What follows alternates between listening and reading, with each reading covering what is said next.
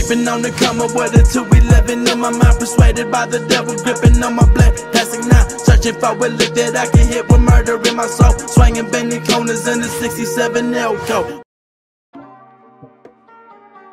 Wano arc could be the last arc of the Yonko saga but so far, it seems like only Kaido and Big Mom will be involved in the Wano conflict, including Luffy's crew and his allies.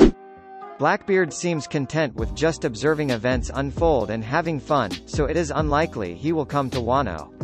Shanks could come as a surprise near the end of the arc but it would be a rehearse of the end of Marineford, so also unlikely. But we've seen during the Reverie that Shanks had a discussion with the five elders concerning the dangers of a certain pirate. Assuming it is indeed Blackbeard, Shanks probably intends to declare war on Blackbeard. Adding the fact that Im was shown just after cutting Blackbeard and Luffy's posters, Shanks could even have Marines helping him.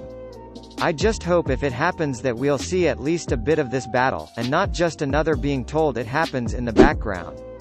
Your thoughts?